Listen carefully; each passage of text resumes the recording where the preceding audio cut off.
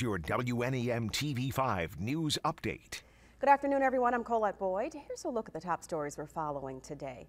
Officials investigating a deadly fire after a house was engulfed in flames. Genesee Township Fire Department received the call just before 6 a.m. on Drexel Street. And as firefighters battled the fire, one person was pronounced dead at the scene.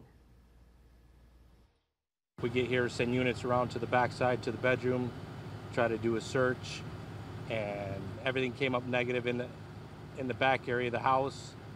The front part of the house was fully involved, so we couldn't get up reach the front half. We were doing a defensive attack on the front half of the house. The fire causing major damage with the roof caved in. We still don't know what caused that fire. State investigators are now involved in the case. Stay with TV5 for any updates. A Flint Township woman is now behind bars for making threats toward a local elementary school. Police say the woman called the threat in just before 9 in the morning on September 7th.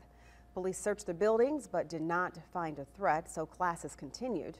Authorities say they arrested a 31-year-old Flint Township woman after an extensive investigation.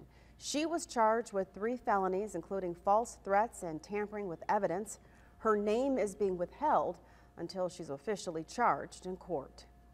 And if you're looking, hmm, getting into the holiday spirit, there's no better place to do it than at the 33rd Annual Festival of Trees put on by the Junior League of the Great Lakes Bay region.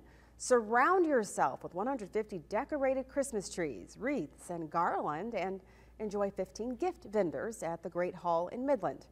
Put a raffle ticket in for the chance to win a tree or gift. That event is open Saturday and Sunday. Money raised goes back into the community. Tickets are $5 at the door, and veterans are free all weekend. Now here's Matthew with a look at your forecast. Thank you, Colette. We do have a colder Friday afternoon ahead of us. Once a cold front moves through, then we just turn much cooler into the upcoming weekend, too. So that part of the forecast has been holding together pretty well. As of right now, we do have temperatures in the upper 50s, right near 60 degrees, but that'll start to fall off pretty sharply behind that cold front throughout the afternoon as it progresses. Once we head into tonight, we'll fall back down to around that freezing point with this colder air mass settling in.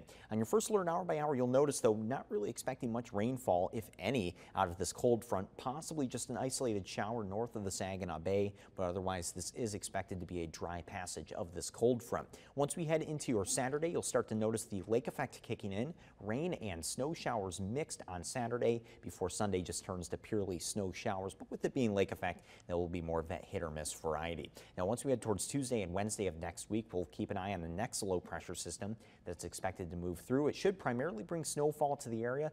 We could see some rain mixing in with that too, just depends on how warm we actually get on Tuesday afternoon and on Wednesday afternoon as well. But this will be something to watch towards the middle of next week. We still have seen some variability in terms of the timing and also where this low actually ends up tracking. But again, something to watch for next week. But through the weekend, just make sure you're bundling up.